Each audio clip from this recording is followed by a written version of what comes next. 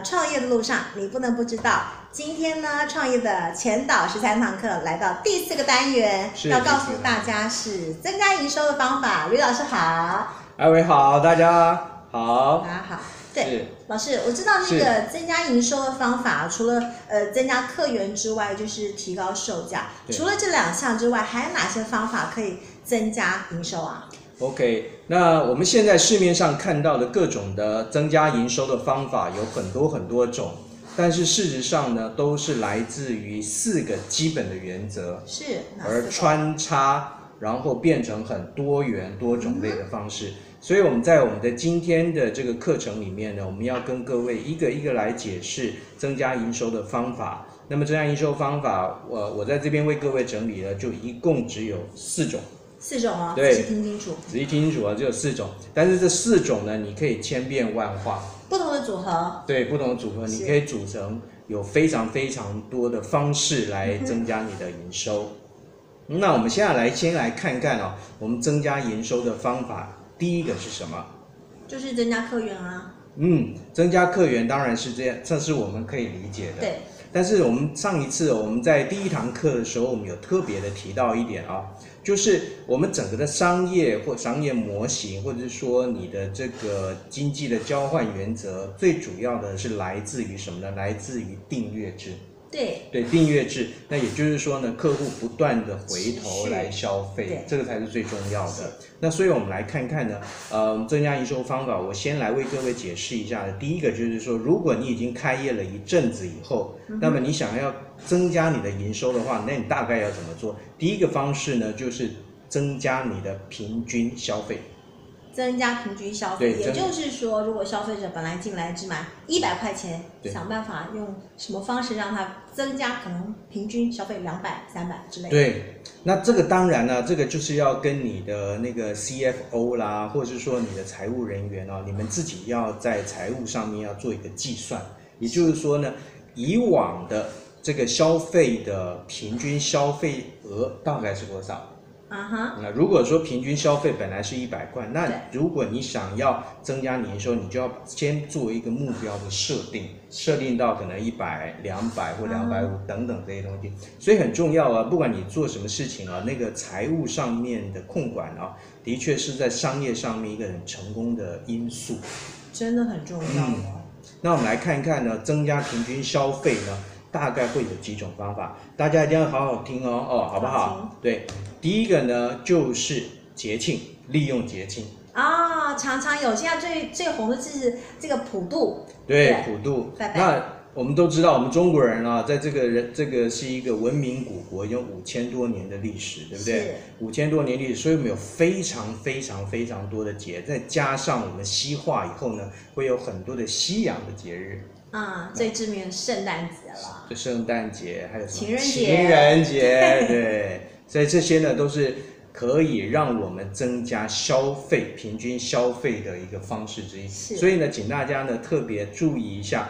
呃，如果你有经营公司或经营企业的话，最好呢是有一个行事历，这个行事历上面呢就是呃放满了我们一般会过的节日，然后从过的节日里面呢，你再往前推大概两三个月，就要准备好你的行销机制。嗯嗯，所以节庆是很重要的，。很重要。那我想，呃，大家在台湾耳熟能详的就是这个五二零百货公司的这个大折扣，对对不对？对那么在美国呢，就是感恩节，啊，对对对，对不对好大一个那个消费的那个市场。对，大家呢都是根据你的，尤其在台湾跟美国的这个电子消费呢是联动的。对，也就是说呢，如果感恩节美国的感恩节销售量不好的话，你可以肯定，台湾呢下一年的台湾的电子呢，大概它的股价不会涨得很快。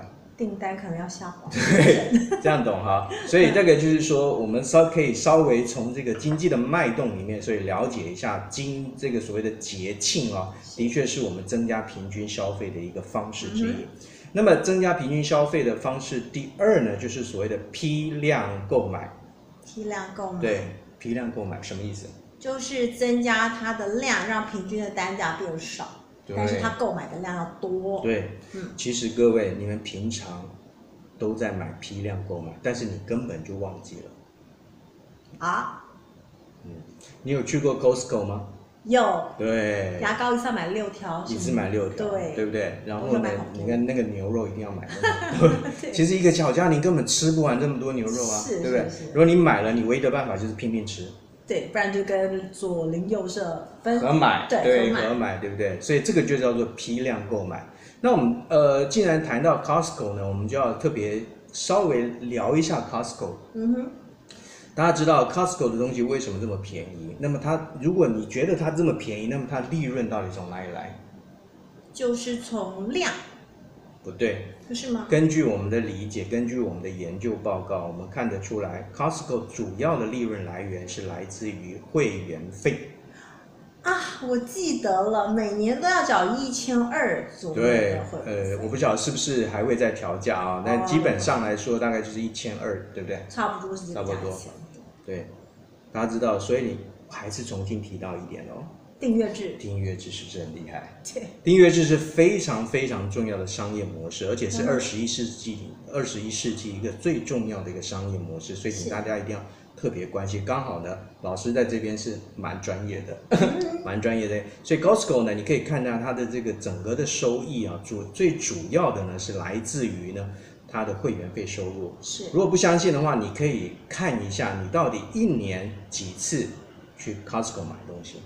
哈哈，十只手手算得出来。对，其实很多人办了这个 这个一年的这个会员，对不对对？缴了会员费，他可能去的次数没有你想象中这么多。是因为他量每次都买很多。对嗯，那大大家理解哈，所以批量购买呢，是我们常常在商业行动里面或者增加平均消费里面常常采用的一个手段。嗯，那么第二、第三个呢，增加平均消费的第三个呢，就是什么呢？是捆包。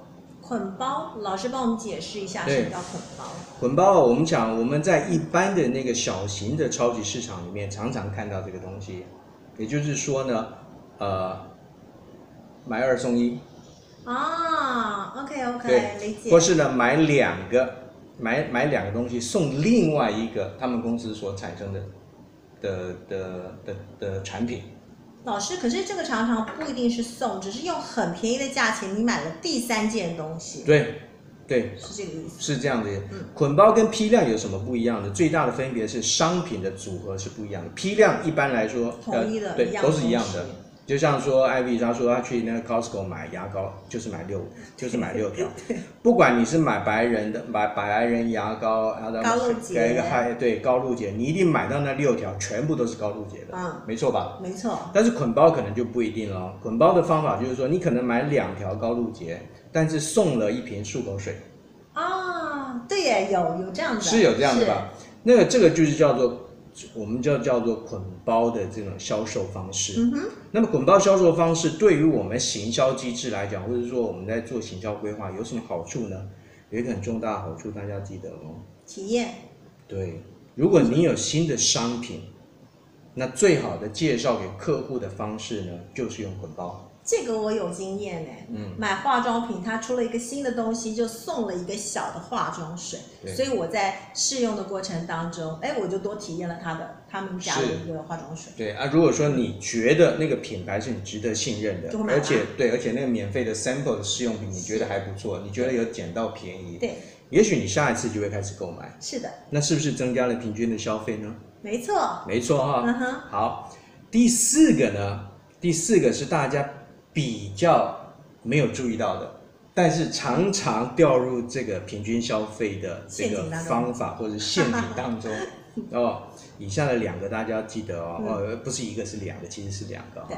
第一个就是免运，哦，有团妈团购的时候，常常来公司就是团购，因为可以免运，对。再凑包数。对，嗯。我我我那个我举个例子啊，呃，在咖这个家乐福的这个电子商务的这个购买部分，电商的部分，因为家乐福大家知道，它自己本身有一个实体的这个商店嘛，嗯那另外它也积极的推展这个电子购物电子购物平台。是，那么电子购物平台呢，我我就发现了，做我就做了一个简单的研究。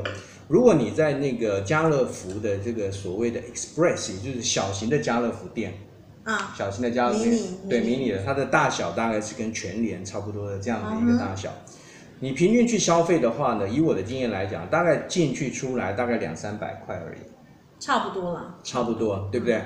那除非你要买很多生，除非你要买很多生鲜的东西，那基本上去的话大概就是两三百块。但是呢，如果我往电子购物的平台去买东西的话，我就发现我要想方设法绞尽脑汁，要累积到免八百运块。对对，为什么要八百块？因为免运。对，真的是真的。对，所以你就想方设法说，我就是要挤出八百块，我就是为了要省那一百块钱的物流费，这样懂吗？嗯，所以。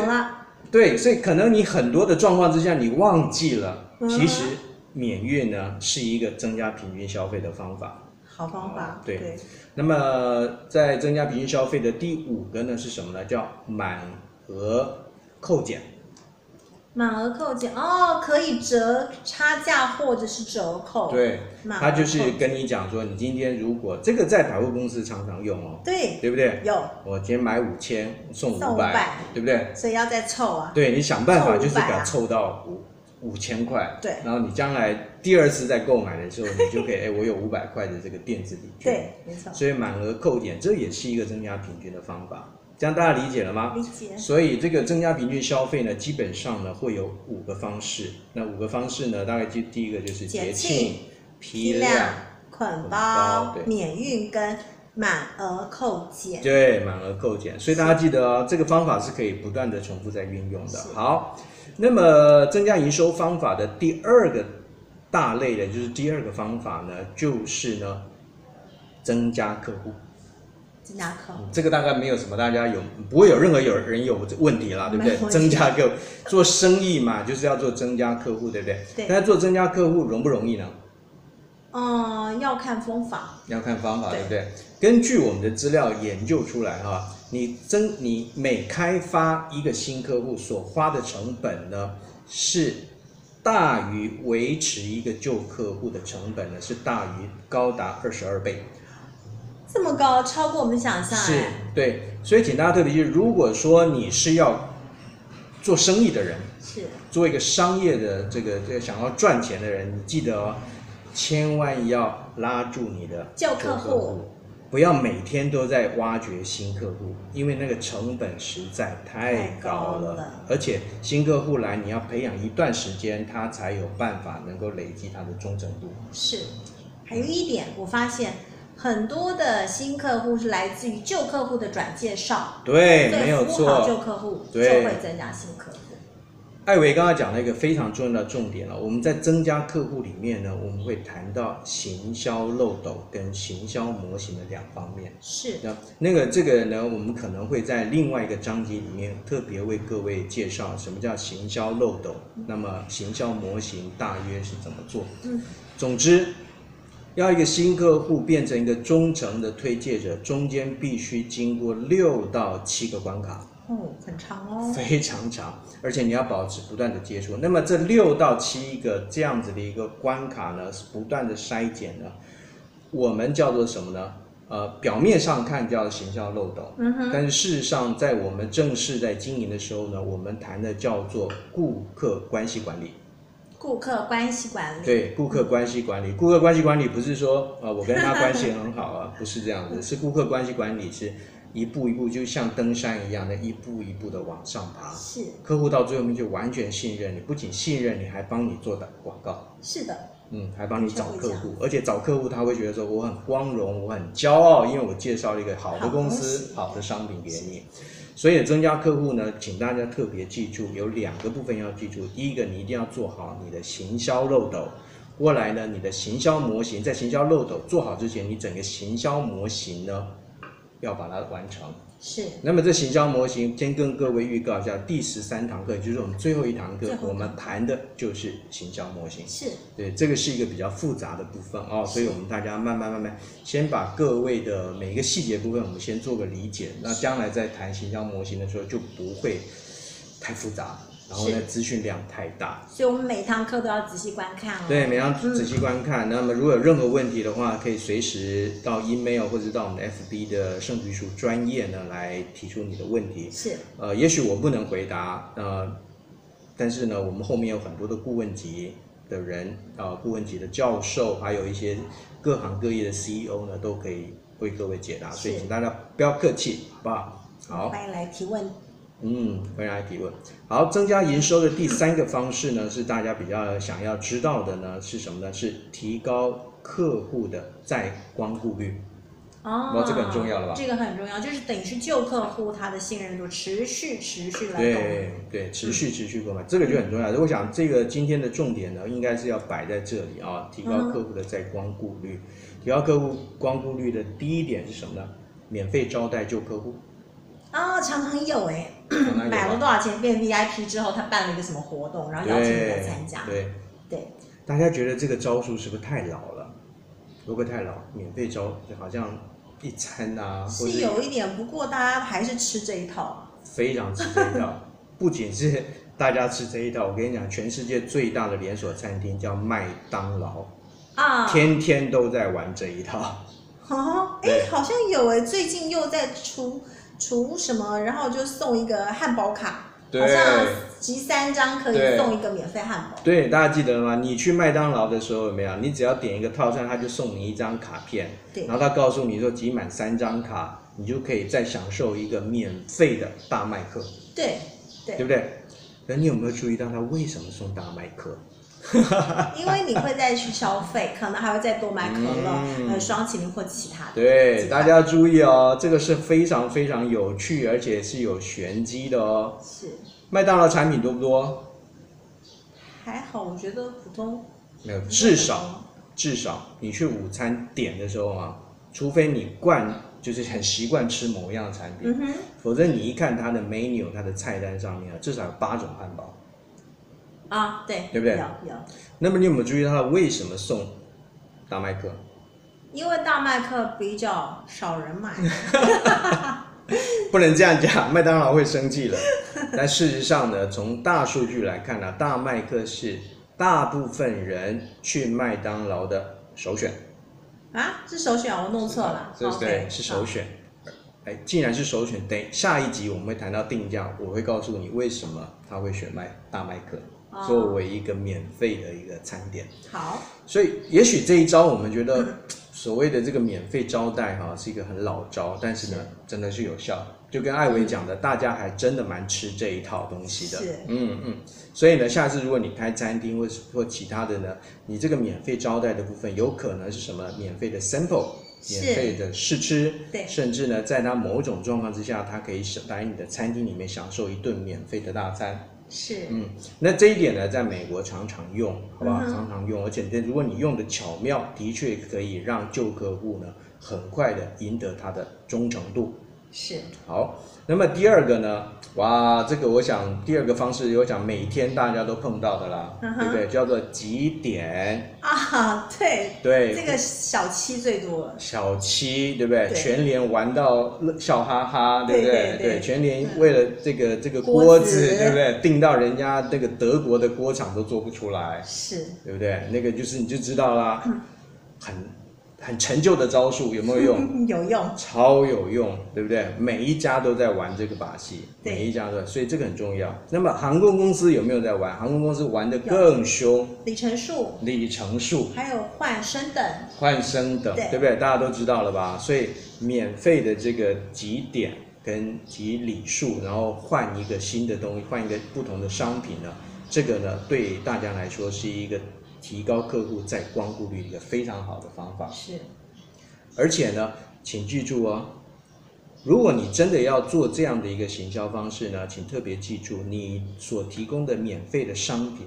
嗯一定要超值。是，也不能随便去买一个东西就来就就来当做免费的赠品，不然那个会遭客户所唾弃的。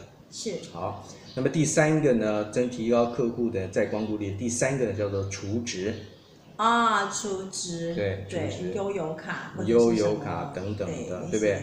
如果你有兴趣的话，你去看看 iCash，对，你觉得有兴趣的话，艾维或者是其他的朋友，你可以去看一下悠游卡现在的那个行销的方式是非常非常活泼的，是非常活泼。那么在世界各国呢，用储值的方式呢来做行销呢，也非常非常多。我想大家台湾人很喜欢去日本，应该很多人手头上都应该有西瓜卡 JR 的西瓜岛，那个要不要储值？要。要对，总有一天日本政府会等到你，因为你一定要拿那个卡回去。对对，那么我们其实我们平常上高速公路的 ETC 啊，也是储值，没也是错储值。嗯 OK，储值对于一家公司的金流，也就是我们的收益流的分析、现金流的分析是很重要的。哇非常重要，嗯非常重要。所以呢，如果有机会的话，你也可以设计这个。那么提高客户在光顾率呢，叫做自动的购货系统。自动购货系统对，尤其现在马上要进入五 G 的时代，那么嗯每一个互联网变成物联网，互联网对。变成物联网，对，那么所以呢，所以像各大的这个电商，例如说 Amazon 或者说淘宝这些全世界首一数一数二的这种电商呢，是。他们在所谓冰箱里面或者其他的储物的这个空间里面都装上了五 G 的连线的话呢，那很可能你的东西在一个月消耗完之前，它就已经传简讯给你了。哦，然后因为你已经绑定你的信用卡跟储值卡，对不对直？接送货到你家，对，直接送货到你家，厉不厉害？哈哈哈基本上你根本就毫无抗拒之下，你就收了那个货。所以一家公司呢，如果你要营运的好，自动购货系统呢，一定要建构的非常非常的完整，是非常的这样的话，你的客户源源不绝的来做消费。消费嗯。嗯哼，好，那么讲到最后面呢，我们就要谈到增加营收的方法，叫做涨价。嗯啊，涨价反映成本嘛，最常听到就是这个。对，你觉得涨价容易吗？你做过生意的人，涨价很难，特别是做吃的，涨个是五块十块，其实客户非常有感，对，但是有时候没办法反映成本。是是。对，大家注意到了，涨价是一个不得不走的一条路，但是能不能走，能。一定要走，也能走。嗯，所以呢，但是呢，这个部分呢，你要看你的商品是属于哪一种的环节，属于哪一种类别。对，那么基本上呢，我在这边先各位提醒一下，因为等于下一集呢，我们就是要谈到这个商品的定价的定价。部分。基本上来说，如果你的商品是属于所谓的敏感性商品，嗯哼，那么你要涨价真的不容易。嗯哼，例如说，我们在去年的时候，去年大约三月的时候，也就是二零一八年，是。呃，二零一八年三月的时候，台湾爆发了卫生纸之乱。我记得这件事情，嗯大家很多人家里面一直囤货，有的人家里买不到。对，然后大家的问候语不是你你假爸呗，你吃饱了没？就是说你买卫生纸了没？对 对对，对对对，所以那个很夸张啊。嗯那为什么到那么夸张的原因，就是因为这个属于敏感性商品。是敏感性商品，嗯天天要用的。对，那敏感性商品，例如说电价、油价、水价，还有公车费公车费等等这些有关于民民生生的的这种涨价都非常非常敏感。对，那你今天要涨价，你就不是，你就不能只是单说说因为调整物价的进或调整，这个需要很多的口舌。嗯那么呃，商品另外一种呢，叫做这非敏感性的商品，那一种涨价呢，大家就比较不会 care，也不会有什么太多的意见。